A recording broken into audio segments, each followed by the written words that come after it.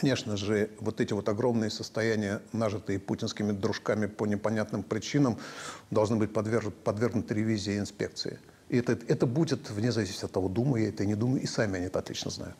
Например, уверен, что одной из главных целей э, там, новой России будет борьба с бедностью. Потому что Россия – это богатая страна бедных людей. Те неправильно нажитые средства, они должны пойти в фонды, которые будут заниматься вот этим.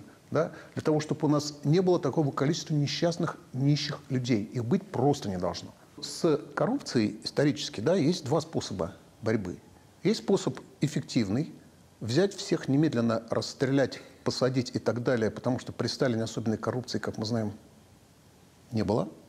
И есть другой способ, менее, что ли, действенный, но надежный. Это обычные демократические институты параллельного контроля, да, когда есть народные избранники, настоящие депутаты, да, когда есть независимые суды, когда есть пресса, которая вовсюду сует нос. Коррупция при этом все равно есть, но она удерживается в определенных, так сказать, каких-то рамках обычно. Да?